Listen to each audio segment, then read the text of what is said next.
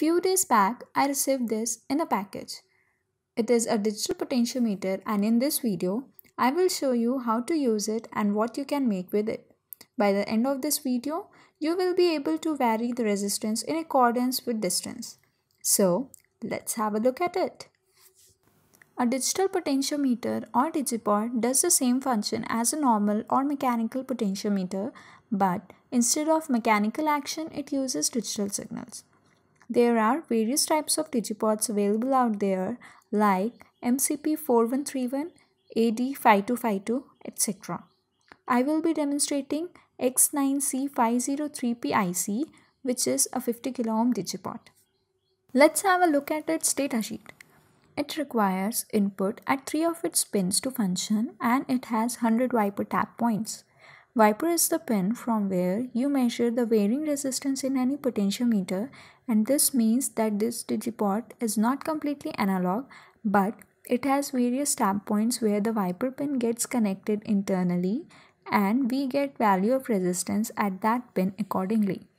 Its maximum working voltage is 5 volts. We can also see that there are various versions available in the series and are named according to the fixed resistance they can offer. Pin number 1, 2 and 7 are the control pins, 4 and 8 are supply pins, 3 and 6 are fixed potentiometer terminals and if you measure resistance between these two, you will get the value according to the series number of your IC. The wiper is pin number 5.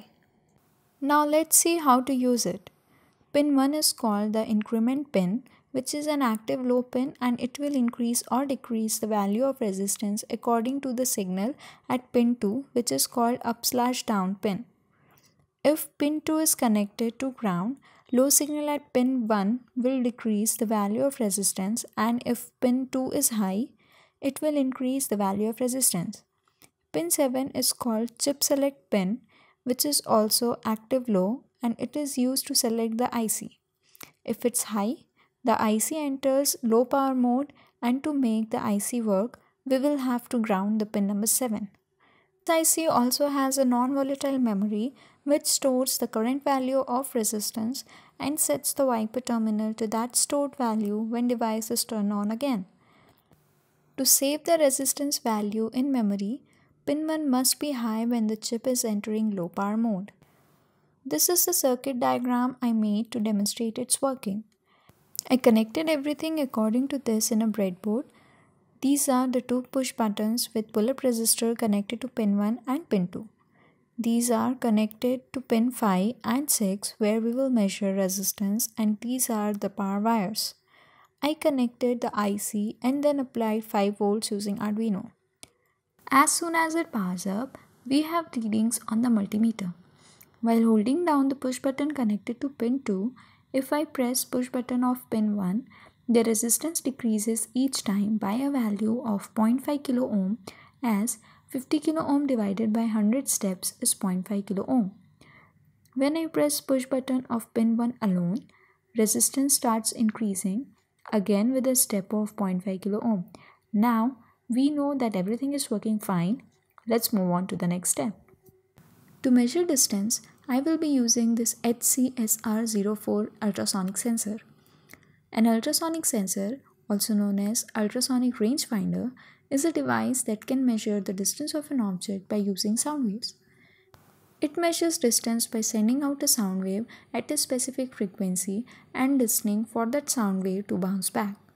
By recording the elapsed time between the sound wave being generated and the sound wave bouncing back, it is possible to calculate the distance between the sonar sensor and the object.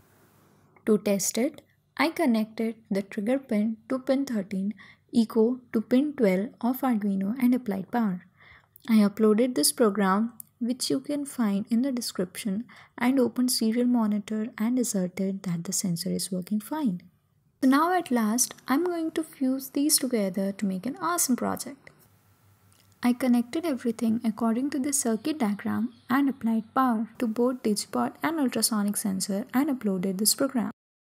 This program uses a library for digipot built specially for ICs of this series. What the programming does is First, it brings the wiper value to 0 ohms by decreasing the resistance 100 times, which is the maximum.